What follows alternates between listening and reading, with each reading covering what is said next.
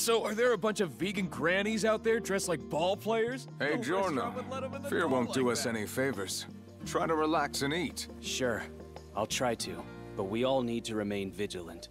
If not, someone could easily poison our food. Huh? The, the hell are you doing, you spindly little shit? What the... You think I'm gonna let you get away with this? This stain is gonna cost you. My suit costs four million lira, pal. Now I'm gonna make you pay. So you're our next foe! What? Don't hear you denying You it! trying to start trouble? Take that, Katsune! And that! And that! And one of these! Hey, pump the brakes for a second. I don't think this guy's an enemy. He's out cold. A random citizen. Go figure.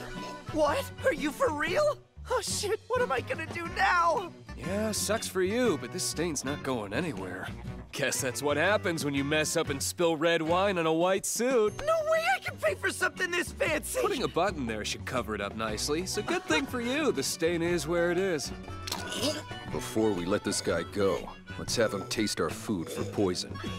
Now we're talking. Down the hatch.